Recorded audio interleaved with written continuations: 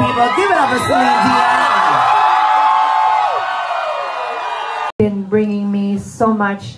Um, You're the best, Celine. We love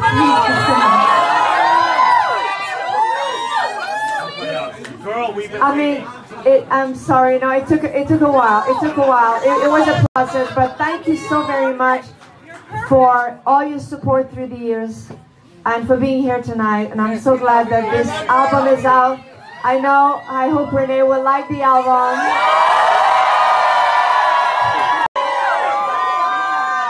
This album has been um, a long process. It has been making me travel through different emotions.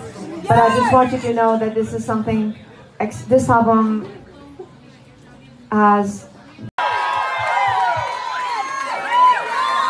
And I hope you like it as well, of course. And I put so I put my heart into it, and I want to thank you. I love you guys very, very much. Thank you.